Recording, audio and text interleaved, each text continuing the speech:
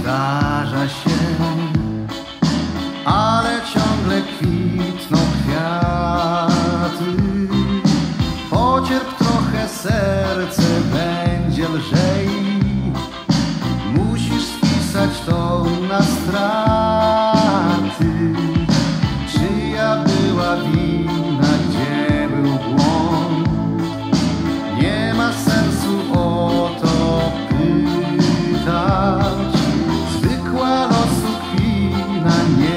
not so